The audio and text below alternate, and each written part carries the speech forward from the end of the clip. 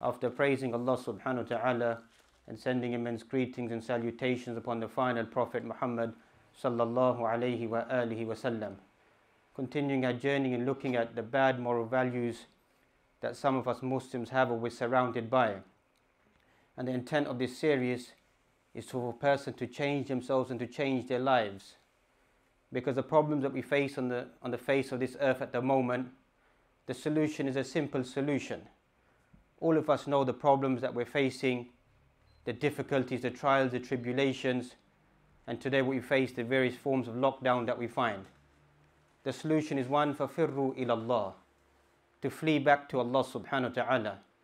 To repent back to Allah subhanahu wa ta'ala. Allah subhanahu wa ta'ala wants the individual to change himself. إِنَّ اللَّهَ لَا يُغَيِّرُ مَا بِقَوْمٍ حَتَّى يُغَيِّرُ مَا بِأَنفُسِهِمْ Allah subhanahu wa ta'ala will never change a condition of a people until they don't change their own selves. Thus you find that sometimes we see ayatim mufassalat, we see signs after signs of Allah subhanahu wa ta'ala.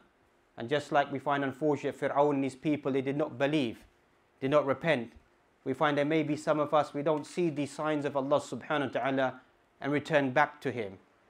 أولا يرون أنهم يفتنون في كل عام مرة أو مرتين ثم لا يتوبون ولا هم يذكرون Don't people see that maybe once or twice in a year that we place some difficulties, some calamities upon you, that you may repent back to Allah subhanahu wa ta'ala or you begin to reflect and begin to ponder. Likewise, another place in the Quran inside Surah Al-Ma'idah, Allah mentions, why don't they repent back to Allah subhanahu, subhanahu wa ta'ala وَيَسْتَغْفِرُونَهُ and seek the forgiveness of Allah subhanahu wa ta'ala. All of this that we find around us are signs and symbols of Allah subhanahu wa ta'ala. وَمَا قَدَرُ اللَّهِ حَقَّ قَدْرِهِ No one can estimate the estimation of Allah subhanahu wa ta'ala. No one can encompass Allah subhanahu wa ta'ala. The grandeur, the magnificence of Allah subhanahu wa ta'ala. Hikmatullahi baligha. The immense wisdom of Allah subhanahu wa ta'ala. No one can ever understand and will never ever understand. And all of this is from min hikamillahi subhanahu wa ta'ala. Wisdom of Allah subhanahu wa ta'ala. For the believer is the only one that returns back to Allah subhanahu wa ta'ala. As for these individuals that we find life for them, is just play and amusement and continuing their journey. أَفَحَسِبْتُمْ أَنَّمَا خَلَقْنَاكُمْ عَبَثًا وَأَنَّكُمْ إِلَيْنَا لَا تُرْجَعُونَ You think we created you in vanity, with no purpose, no ghaya, bila qasdin, no intent, just for people to enjoy their lives and carry on what they're doing. These people don't seem to reflect over the ayat of Allah subhanahu wa ta'ala. Allah subhanahu wa ta'ala سنريهم آياتنا في الآفاق وفي أنفسهم حتى يتبين لهم أنه الحق We will show them our signs everywhere around them, the horizons.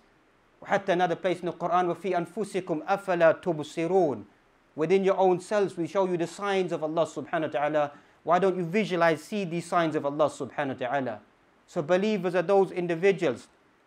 The intent of all of this series that we've been following, that these bad moral values inside our society, that we need to stay away from them. We need to change ourselves. We shouldn't just become, it becomes a formality that many people with a good intent possibly want to come to Yawmul Jum'ah. They want to come back to the masjid. But the masjid and the khutab, the masajid, it should be one of changing the individual. At-taqarrub ila Allah subhanahu wa ta'ala. Bringing them close proximity to Allah subhanahu wa ta'ala. Reminding them about Allah subhanahu wa ta'ala. وَذَكِّرْهُمْ بِأَيَّامِ اللَّهِ Remind them about the days of Allah subhanahu wa ta'ala. That's what the masjid is. That's what as-salah is. Inna salata tanha anil fahsha'i wal munkar.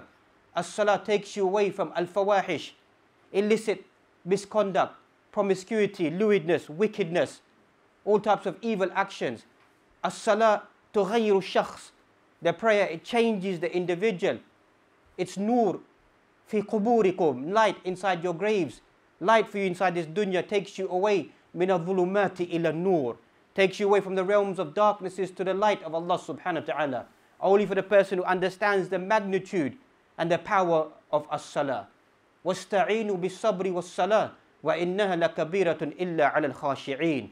Seek aid and assistance via the prayer. It's going to be difficult except for those individuals who have khushu lillahi subhanahu wa ta'ala قد أفلح المؤمنون الذين هم في صلاتهم خاشعون the beginning of Surah Al-Mu'minun Allah mentions these 10 or so characteristics of the believing individuals successful are those individuals أول صفة لهم.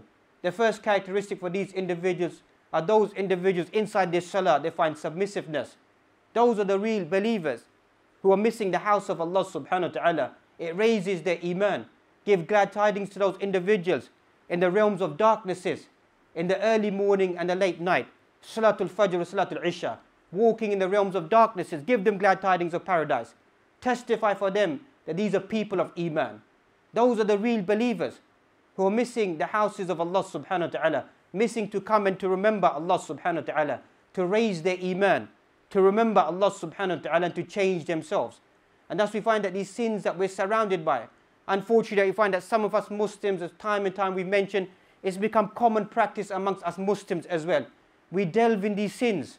The influence of the society around us has crept deep into our hearts that we begin to behave like these individuals. The Quran mentions, وَلَن تَرْضَ عَنْكَ الْيَهُودُ وَلَا النَّصَارَ حَتَّى تَتَّبِعَ مِلَّتَهُم These people will never be happy with you until you don't follow their millah. Millah, kalima, daqiqa, has a deep meaning about following everything about these individuals that you find. Their imitations are their dress sense, their speech, their etiquettes, everything about them. We find that many of us Muslims begin to sway away. We begin to have the etiquettes of these individuals. The Prophet he, he warned us, Man biqawmin minhum. Whoever begins to imitate a people, he becomes eventually like them. Eventually you become like the people he begins to imitate. So the taqaleed that we find some things that we imitate of these individuals, they lead us to begin to follow them towards a path of kufr, of disbelief and rejection of Allah subhanahu wa ta'ala. And thus we find we as practitioners need to tackle mainstream issues that we're facing. Because there is, a, unfortunately, I hate to use such words, but a superficial practice of Islam. It's an external garment or a garb not to sound derogatory that people may dress as a Muslim. People may approach themselves as being Muslims. But the inner core element, and I would not be extreme in saying of many Muslims, is corrupt. Many Muslims is corrupt living inside the Western environment because the influence of the society around us has crept within ourselves. That is just a superficial display of Islam. We find amongst us Muslims that we find, we find serious problems that we find. Whether it be problems of abuse, of oppression, of drugs, of alcohol, of gambling. We find addiction inside our society.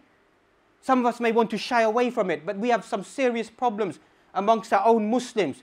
Speak to any of the ai speak to any of the imams, the khutbah, they will highlight to you that we, we have physical abuse of men carrying out upon their family members, upon their children, upon their wife. We have mental abuse being carried out upon people that we find. Excessive elements of drug abuse inside our society, alcohol abuse, and gambling that we find that exists inside our society. These are problems that we, as, as Muslims, as masajid, we need to tackle. We shouldn't hide the fact that we have problems inside our society. A person who lives inside a society tackles the society around them, tackles the challenges, what we're facing inside our society. If we begin to turn away, then we find that this evil will begin to spread even more inside our society. That's in today's hadith that we find. And Abdullah ibn Amr أن النبي naha anil khamri wal maisir. That the Prophet ﷺ, he prohibited us, made it haram to enter into any form of alcohol, of any form of intoxication, of gambling, wal kubati wal ghubayra. Wa kullu muskarin haram in the hadith of Sunan Abi Dawood that we find. Inside this hadith, many times these topics that we touched upon, al khamr, the amount of times we've spoken about alcohol, intoxicants, wa kullu muskarin haram, everything that intoxicates the mind of the individual, Tobacco, shisha, drugs. All of this is muskir. All is whatever it takes away the mind of the individual is a form of khimar. ما يغطي العقل. As the ulama have described, al-khimar is whatever in, in, in, covers, shrouds the mind, takes away your senses, ما أسكر كثيره فقليله حرام في حديث الإمام مسلم صحيح مسلم that we find whatever intoxicates you in large amounts is forbidden inside small amounts then the Prophet ﷺ, he mentioned al-kuba kuba قد فسر أنه نوع من الطبل is a, a form of drum that we find a specific shape of drum that we find as ulama have described which is related to musical instruments there are many times we spoke about this as well Surah Luqman the 31st surah verse number 6 وَمِنَ النَّاسِ مَنْ يَشْتَرِي لَهْوَ الْحَدِيثِ لِيُدِلَّ عَنْ سَبِيلِ اللَّهِ Read the works of the Mufassirin, Ibn Kathir, Imam Suyuti fi Durr al-Manthur. Read all the aqwal that they mention. That what is lahu al-hadith? Even if a person goes to the view, it's not music. Lahu al-hadith is vulgar speech, evil speech, vain speech. Compare that to all of what the, most of the people listening today. Rap music, drill music, grime. Listen to the kalimat. Listen to the words that these people that they use. ما ما عند الغاية فواحش explicit words that we find are used والرسول عليه السلام ما كان فاحشا ولا متفحشا The Prophet ﷺ never listened to anything which is immoral, never entertained anything which is immoral, never remained inside that suhbah. So that's when we say that the youth are facing problems. This is the beginning of their indoctrination going into their mind, into their heart, placing this inside their hearts. That's Abdullah bin Mas'ud, he mentioned that the heart of the believer is a vessel, it can't contain two things. It cannot contain Sawtu Rahman, the voice of Allah subhanahu wa ta'ala, Kalamullah subhanahu wa ta'ala, and was Sawtu Shaitan. أحدهما يغلب على آخر. One of them will overcome the other. So the person fills their ears, fills their heart with these evil words. It will overcome them eventually that they begin to walk away from the voice of Allah subhanahu wa ta'ala, from the Quran of Allah subhanahu wa ta'ala. والغبيراء نوع من الخمور في بلاد الحبشة. Al-Ghubayra is made from millets, from grains. A type of liquor that we find, alcohol that we find. 10 million tons or so produced on a year, an annual basis inside the, the land of India. That they make this, this wine, they make this drink. This was mentioned by the Prophet some centuries ago. The land of Habasha used to extract from these grains and make this alcoholic drink that we find. وَكُلُّ مُسْكِرٍ haram. Then he mentioned every intoxicant is haram. But what concerns us inside this, inside this hadith is al-maysir, is gambling. And if you look at inside all the ahadith of the Prophet والسلام, we look at the Quran, you find always the Quran and the hadith, it mentions al-khamr wal-maysir. It mentions alcohol and gambling together. Why does Allah subhanahu wa ta'ala begin to mention these two evils together? Naha anil khamri wal maysir. For what reason? Because you find they go hand in hand. Wherever you find alcohol, you'll find gambling. Wherever you find gambling, you find alcohol. Or eventually, over time, you find both of these two things will begin to coexist. One leads to another. That's the general den of vice that we find. That's why ulama mentioned a person should be careful of sins, any sin.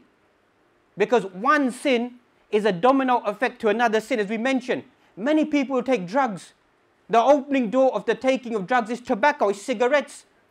Prior to that is, is, is suhbah, is companionship, bad friendship, sitting with people who have these evil traits that eventually begins to influence them. That try this. Come min shababina. How many of our youth, how many of our youth are good individuals? but sitting with the wrong crowd, doors of vice are open to them. That they even they say themselves, if only I never was engaged with such individuals.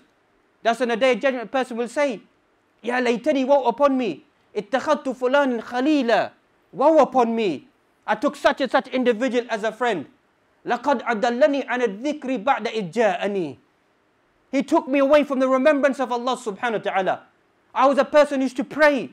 I used to fast. I should come to the masjid. This person, he dragged me away. He influenced me. Obviously, the sin is going to be upon the person themselves, but some element of influence overrides certain individuals because some of us are not strong characteristic individuals. We're not strong personalities. Wherever the wind blows, we begin to follow that path. A person should develop their personality to be shakhsiyah qawiyya, strong personality. It's very difficult to influence an individual whose iman is rasikh, is firm, who believes deeply in Allah subhanahu wa ta'ala. That's as I mentioned, a superficial garment. How does that person delve into such evil sins? Because their iman is not rasikh. Their iman is not firm. They're just worried about qila wa qal, external issues, this and that and that and the other. Rakkisu ala anfusikum. Focus upon your own self to be a strong personality. Strong personality within your home, with your children, with your wife, with your family members. That's what a real personality is. Come min al-ashkhas. How many people come to the ai say, what is this Islam that your children are practice? That these people around you are practice, practicing. You think this is practicing Islam? يلعن ويشتم أباه curses and reviles his own parents, reviles them, curses them, يكفرهما makes takfir upon them. They're evil, they're wicked, this, this, this. وهذا شخص ظاهرا يطبق السنة. ظاهرا is a person of sunnah. But this is how he treats his parents. This is how he speaks to them. وصاحبهما في الدنيا معروفا. Quran says, follow your parents in goodness. Even if they happen to be disbelieving individuals. You leave them in that which is disobedience of Allah subhanahu wa ta'ala. Other than that, if your parents are disbelieving parents, وَصَاحِبْهُمَا فِي الدُّنْيَا مَعْرُوفًا Remain in good companionship with them. Be good to them. وَأَمَّا نَحْنُ الْمُسْلِمُونَ The Quran says, وَلَا تَقُلْ لَهُمَا أُفٍّ وَلَا تَنْهَرْهُمَا كلمة أف كلمة بسيطة عند عند اللغويين ولكن عند القرآن كلمة كبيرة نوع من الشتم ولا تقل لهما أف Don't even say uff to your parents. Linguistically, it has no meaning. It's a light word. It's just a tut. It's just a, it's a sound of the, of, the, of the lips. That's all it is. But the Quran says, don't even say that to your parents. Lower the wings of mercy to your parents. Just pray for them. وَقُلْ رَبِّ ارْحَمْهُمَا كَمَا رَبَّيَانِي صَغِيرًا Oh Lord, have mercy upon them when they nourished me, they cherished me, they brought me up whilst I was a young individual. This is what Islam is. This is what Islam is. Quran begins by highlighting this. وَقَضَى رَبُّكَ أَلَّا تَعْبُدُ إِلَّا إِيَّاهُ وَبِالْوَالِدَيْنِ إِحْسَانًا This is what the teachings of Quran is that we've forgotten many of us. Worship only Allah subhanahu wa ta'ala. And then be good to your parents. Not good to everybody around you, friends around you, people around you. Speak to them in loving words and kind words and humble yourself. Bring your hum- humility. Begin it with your parents. As you find that parents are the gates of Jannah of paradise. If your parents are lost, a person should be fretting, should be despairing, should be upset that the two doors are broken of paradise. The entry of paradise has been blocked for that individual or making it more difficult for that individual. Likewise, both these elements, al-khamr or maisir, are detrimental, are harmful for the individual, physically and mentally. Study the effects of gambling, the effects of khamr that we find. People are taking drugs at the moment. Look at their personalities. Look at their personalities schizophrenia that they suffer from. People talk about marijuana, cannabis being a mild drug. Studies have proven it, it kills your brain cells, it destroys them. That's why many of our shabab, they can't accept. Because the first problem that we're facing is to recognize your sin. Recognize it's an evil action, not to defend it, to conceal it. This is the first problem that we face inside our society. And the biggest evil that we face inside our society as Muslims, and many times we mention this, is the Muslims who begin to traffic these evil substances. That is the biggest calamity that we're facing inside our society. That Muslims, ma yukhafun Allah. They don't fear Allah subhanahu wa ta'ala. They worship the dinar wa dirham and their status and their pride and their postcodes. That's what they worship. And they're willing to infiltrate inside our society these haram substances for the sake of their own greed, of the wealth they want to possess. And once again, we shouldn't shy away from the fact it is rampant inside this society. People like us, imams who don't even know people, we visualize it on a daily basis on the streets. Muslims who are serving drugs, Muslims trafficking drugs, Muslims indulged in drugs, Muslims threatening other Muslims with violence and crime and even killing them. It's no exaggeration. This is what the peak that we reached we are claimed to be Muslims, but we have no fear of Allah subhanahu wa ta'ala. No fear of what was the repercussions. And people take these substances, the repercussion that we can see many of us, 30, 40 years of life, many of our friends that we could see. You could see them, the state of these individuals, of what drugs has done to them. And this is no exa- exaggeration. Some of these people, you could see them on the streets picking up cigarette butts you could see them on the streets, you feel sorry for them. That this is a person who's my comrade, my class fellow, who studied with me, who lived with me, who worked with me. This is what he has become. Because of what? The taking of these evil substances. Person feels upset that what has happened to this individual. And this is the masses of our community, what we're facing. And we turn a blind eye to this. So that's in short terms, both of these elements are an addiction. They are an addiction inside our society. The taking of intoxicants of drugs and gambling that we find is an addiction. يسألونك عن الخمر والميسر قل فيهما إثم كبير ومنافع للناس They ask you about gambling and wine. Say in them is a sin. وإثمهما أكبر من نفعهما and their sin is far greater than their benefit. The small benefit that people may gain. Another place inside the Quran, inside Surah Al-Ma'idah, verses 1991, Allah mentions, يا أيها الذين آمنوا إنما الخمر والميسر والأنصاب والأزلام رجس من عمل الشيطان فاجتنبوه لعلكم تفلحون إنما يريد الشيطان أن يوقع بينكم العداوة والبغضاء في الخمر والميسر ويصدكم عن ذكر الله وعن الصلاة فهل, فهل أنتم منتهون Even read these ayat inside the English language. There's no powerful kalimat inside the Arabic language which makes something haram inside the Quran. There's no other greater depiction inside the Quran. Allah يقارن الخمر والميسر مع الشرك والأزلام مع الكفر والشرك. Allah equates alcohol, intoxicants, gambling with shirk, with kufr. That's you find in other narrations that some ulama have authenticated. مدمن الخمر كعابد الوثن لا يدخل الجنة. But the riwayat that you find, person who's addicted to alcohol is a worshipper of an idol, of a statue. Why is that parable given inside the hadith based upon this ayah inside the Quran? Another hadith it mentions the person who's addicted to alcohol, لا يدخل الجنة, will not enter into paradise. Harsh words. Why? Because of the dangerous elements of these addictions that we find inside our society. And thus we find all of these actions inside this hadith, inside the Quran, are all the filthy handiwork of the devil. That a person needs to abstain فَاجْتَنِبُوهُ لَعَلَّكُمْ تُفْلِحُونَ Stay away from it, you may become successful individuals. Al-Maysir, قال Imam Mujahid, تلميذ Ibn Abbas. Al-Maysir that you find, اشتقاقه من اليسر, is taken from ease, easiness. Because gambling in general, you find, is a person gains wealth via an easy use, usage. بيسر والسهولة بدون كد ولا تعب. Person with via ease gains this wealth. People may think that it's a skill or whatever it may be, but a, that's what it is. Any game of chance, of risk that we find from either party both parties that we find is forbidden. That's what the fuqaha speak about, the, the, the priest Islamic practice of Quraysh that we find, of, of, of juzur that we find, the camels that we find, that they place lots. And you find that six or seven of the party parties gain their lot, the share of the camel, and the other three will be at a loss. All this is maysir, is gambling that we find. And today's world that we find the types of gambling that we find that exist. Min al-kaba'ir, Imam Dhahabi mentions that if a person says inside a hadith, Ta'al uqamiruka. Come, let us, let us come gamble together. Just, just by game, just by playing a game. Just says that to an individual without physically placing any money there.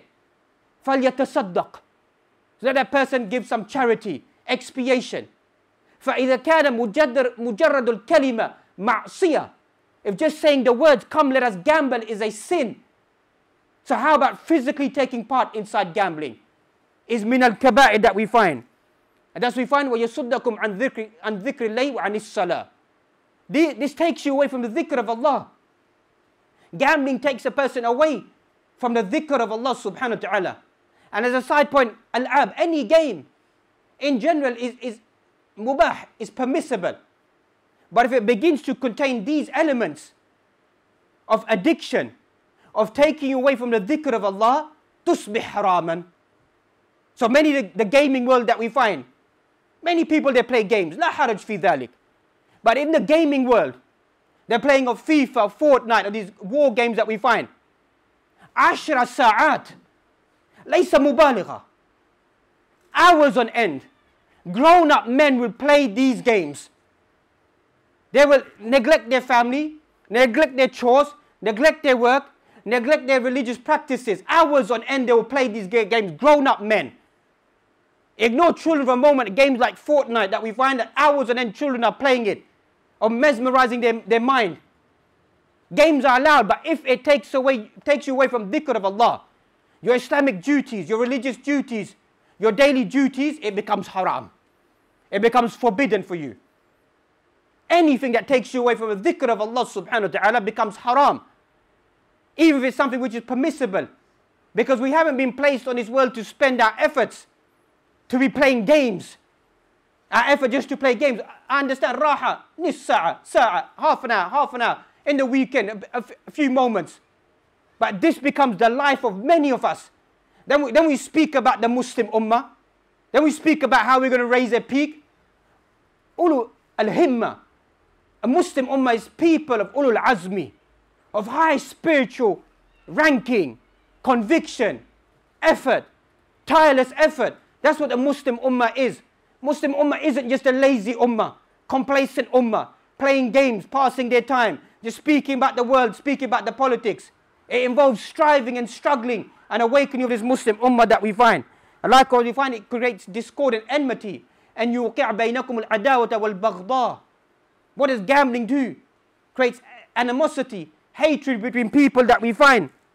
And then we find وَمَنَافِعُ لِلنَّاسِ People think that there's some benefit inside gambling that we find, but it corrupts people. It leads to immorality, as, as we've mentioned. As for the common form of gambling that we find inside our society, Yanasib, the lottery that we find, the buying of these, these tickets. How many of us, as Muslims, you go inside the shop, you find Muslims buying these scratch cards, buying the lottery. They, they think nothing of it. Spend a pound here, maybe I may become a millionaire read the history about the lottery that we find. You know, some of us may think that maybe I'll become like this, the first individual. The first individual won the lottery in 1994 was a Muslim individual, 17.9 million. Today's uh, term, 30 million pounds. He won. Go and read his history, what happened to this individual. Go and read his history. What was the end of this individual? That some of us may think that, that money will make me do certain good things inside my life. Money is a source of corruption for many of us. That's why in a hadith, or if Allah subhanahu wa ta'ala leaves some of his servants to be in a state of poverty or not giving them much wealth. You know why? Because Allah subhanahu wa ta'ala knows that if I give my servant this money, قَدْ يَفْسُدُهُ will corrupt him. It will take him away from the house of Allah. It will take him away from the dhikr of Allah. So Allah knows that I don't want to give this individual his wealth. Wealth is a source of corruption if you don't know how to control it. And thus we find that Muslims who are selling these cards think nothing of it. News agents inside our society, as we began with, Islam is change. Islam isn't tacit approval, turning a blind eye. Well, everybody buys it. What difference does it make to me? There's no harm in me selling it. There's no harm in me selling tobacco, no harm in me selling alcohol, no harm in me selling lottery tickets. I don't do it, but there's no harm in doing it. That's not what Islam is. That is their understanding of a way of life. Tacit approval to everything. Everything, in, that's we find even amongst us Muslims that today that we find the challenges that we're facing. Tacit approval. LGBT, don't say nothing about it. You're going to be the odd individual. أخرجوا آل لوط من قريتكم إنهم ناس يتطهرون. This is an old, old cliche. Get rid of these people who want to be purified individuals. Muslims are in the forefront of highlighting decency, what is morality? What is good character, good behavior inside society that these individuals have forgotten? And then so some of us Muslims that we think to give it to a good cause. Just because the national lottery, 25% of it is given towards charitable causes, it doesn't make it halal. And likewise, the Muslim thinks that if I win some money, i give it to charitable causes. It doesn't make it halal. The end does not justify the means. And likewise, the side point, some Muslims deal in haram. And they say that i give this, some of the money to charity. Inna Allah tayyib wa la yaqbalu illa ma kana tayyiba. Allah is pure, only accepts that which is pure. You can never bring haram wealth and give it to society, give it to Muslims, and this will benefit you. Read the seed of the Quraysh. When they built the Kaaba, rebuilt the Kaaba, they said, Don't bring any money, not even one dinar, not even one dinar that's been tainted with riba. Don't bring it to build the house of Allah subhanahu wa ta'ala. Ha'ulai polytheists, who understood that don't build the house of Allah subhanahu wa ta'ala with any interest, any, any money that's contaminated with haram. How can we today's Muslims build institutes tainted with haram? Muslim society should be a free society to govern itself, to flourish itself. There should be no external influences from any society that we give you this money so we appoint our imam we read the script to you we provide the khutbah to you we provide to you what to say what not to say Al-Imam huwa hur. The Imam is free to speak from the Nusus of the Quran and the Sunnah, not to speak from the regimes of people that they dictate to them that this is the script that you're given and you preach this to the people. That's not what Islam is. That is also the addiction inside our society that we're addicted. We are blind individuals to society. Everything that's brainwashed inside our society, we follow it blindly inside our society. People tell us what to do, what to read, what to write, how to influence society. Don't be taken aback. It's a great big scheme that exists even in the Muslim world to brainwash the Muslim society, to brainwash them, to remain dumb individuals. That we don't seem to understand that even an average individual is overtaken by this addiction to becoming just a simpleton, a simple individual who doesn't raise any concern. And that's maybe people think this is strange, but all this addiction is flourishing where? Gambling is rampant amongst Muslim society, Muslim lands. Alcohol is rampant in Muslim lands. Alcohol is served openly in Muslim lands. People may make give the excuses given to non-Muslim. فأي دين هذا؟ أي شريعة؟ من من الفقهاء أجاز؟ Who amongst the fuqaha have allowed the drinking of alcohol للغربيين للكفار جائز? Who amongst the fuqaha? The most that they've spoken about is certain places they can be pushed aside, ex exertion, exerted outside of society and may be allowed. هذا قول ضعيف, a weak statement. But what do we find? But if a person speaks about this, then we say that why is there problems inside the Muslim society? There's Muslims who are addicted. There's Muslims inside Muslim lands addicted to heroin in the millions. In the millions addicted to heroin. Heroin, ma, ma natasawwar. We can't even understand it. But it exists inside our society because of our complacency of what we see around us. Other forms of gambling that we find inside our society. On Yawmul Jum'ah that we find. On this street and the street by the side that we find, and then you study in great detail every other place that you find. There'll be a masjid there, and there'll be these bookmakers. And you find that these Muslims, may Allah subhanahu wa ta'ala guide these individuals. Even Yawm al-Jum'ah, Zahiran annahu Muslim, has, has beautified themselves, dressed as a Muslim, will go and place their gamble before Yawm al-Jum'ah, or after Jum'ah go and place their gamble. This is what we see inside our society. And when we complain about this towards the people, you know what the non-Muslims say? Most of our clientele are your own Muslims. Most of the clientele who come and visit these bookmakers inside your community are your own Muslims who visit them. What response can we give? What can we say now? That we as, as masajid, or even some masajid don't even want to speak about it, they turn a blind eye to it. It is no exaggeration. There is prostitution that takes place outside the doors of Allah subhanahu wa ta'ala, on the street corners. Takes place there openly, rampantly on the streets around us. Imams are just, masjid just worried about the, the color of their carpet, the display of their masjid, the sanctity of their masjid. Quickly close the doors, get rid of people. As we began with, these are the problems we're facing that people don't want to tackle. They don't want to speak about them. Just place their heads inside the ground, it doesn't exist. These are grown up men, some of them elderly individuals who place these bets, think nothing of it. Their pastime. These haram actions that we see inside our society that we don't want to address that we're facing. Horse racing that we find. As-sibaq bil khayl wal ibl that we find racing with horses and camels that we find. But look how we begin to go beyond the, the bounds that we find even the Muslim world. I don't want to name places and societies that we find. There's, there's federations of countries that we find who, who breed stallions to come and take part in the Queen's Derby and to run races, place bets upon them. You know, we know that inside the, the Arab uh, uh, history that we find. Read, read the, the, the, the poetry of Mutanabbi al-Antara that we find. Their, their poetry is Shi'r al-Jahiliyyah that we find, even classical poetry today that we find, poetry that we find, revolves around three elements. Al-Khuyul, wal-Khumur, wal-Nisa. That's what the poetry revolves around. Upon riding beasts, about alcohol, their banters of drinking, the amount that they drink, and their drunkenness. Then you find that some of them they write that even when I die, that make sure that I'm buried next to the grapevine tree so the juice of the grapevine can enter into my body and nourish me when I'm inside my grave. That's how they, they, they depict themselves. And women. That's what their poetry is about. The Quran even speaks about this. وَالْعَادِيَاتِ ضَبْحًا فَالْمُورِيَاتِ قَدْحًا فَالْمُغِيرَاتِ صُبْحًا فَأَثَرْنَ بِهِ النَّقْعَا فَوَسَطْنَ بِهِ جَمْعًا These ayat from Surah Al-Adiyat that we find, read the tafsir of these ayat. Imam Suyuti, some two or three pages speaking about, about the horses and love of the horses that we find and the descriptive nature of the horses.